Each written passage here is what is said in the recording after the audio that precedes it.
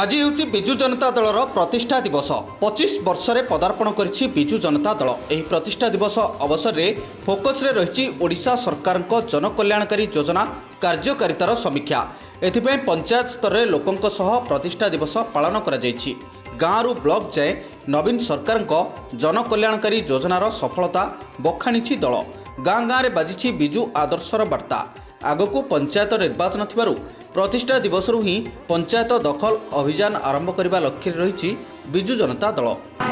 ଆଜି ବିଜୁ ଜନତା ଦଳ ପଚିଶତମ ଜୟନ୍ତୀ ପାଳନ ହେଉଛି ଏବଂ ଏହି ଅବସରରେ ମୁଁ ବିଜୁ ଜନତା ଦଳର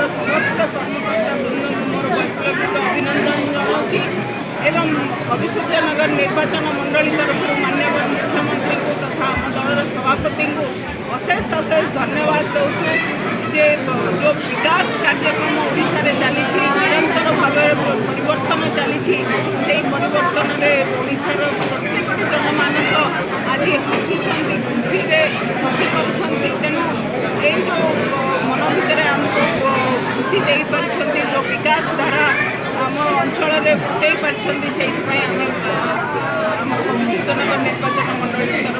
ଧନ୍ୟବାଦ ଏବଂ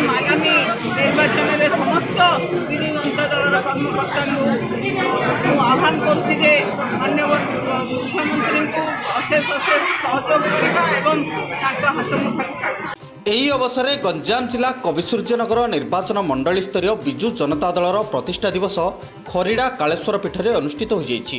କବିସୂର୍ଯ୍ୟନଗର ବିଧାୟିକା ଲତିକା ପ୍ରଧାନଙ୍କ ସମେତ ବେଗୁନିଆପଡ଼ା ବ୍ଲକ କବିସୂର୍ଯ୍ୟନଗର ବ୍ଲକ ଓ ପୁରୁଷୋତ୍ତମପୁର ବ୍ଲକର ଜନପ୍ରତିନିଧି ପଞ୍ଚାୟତ ଜନପ୍ରତିନିଧି ବିଜେଡି କର୍ମକର୍ତ୍ତା ଯୋଗ ଦେଇଥିଲେ। ଅପରାହ୍ନ ଚାରିଟା ତିରିଶରେ ଭର୍ଚୁଆଲ ମାଧ୍ୟମରେ ଯୋଡ଼ି ହୋଇଥିଲେ ଦଳର ସୁପ୍ରିମୋ ତଥା ମୁଖ୍ୟମନ୍ତ୍ରୀ ନବୀନ ପଟ୍ଟନାୟକ। ପଚିଶ ବର୍ଷର ଶାସନ ସଫଳତାକୁ ନେଇ ନିଜ ନିଜର ବକ୍ତବ୍ୟ ରଖିଥିଲେ ନେତା।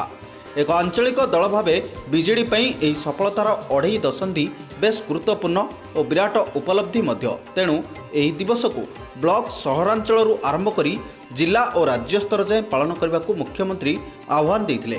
ସେହିପରି ଦଳର ଏହି ସଫଳତାର ଶ୍ରେୟ ମଧ୍ୟ ସମସ୍ତ କର୍ମୀଙ୍କୁ ଦିଆଯାଇଛି। ଡିସେମ୍ବର ଛବିଶ ତାରିଖରୁ ବର୍ଷବ୍ୟାପୀ ବିଭିନ୍ନ ଜନସେବା କାମ କରି ଲୋକଙ୍କ ନିକଟତର ହେବାକୁ ହାଇକମାଣ୍ଡ ପତ୍ର ମାଧ୍ୟମରେ କର୍ମୀଙ୍କୁ ଆହ୍ୱାନ ଦେଇଛନ୍ତି। ଗଞ୍ଜାମରୁ ସୁଶାନ୍ତ ପଟ୍ଟନାୟକ ସକାଳ ଖବର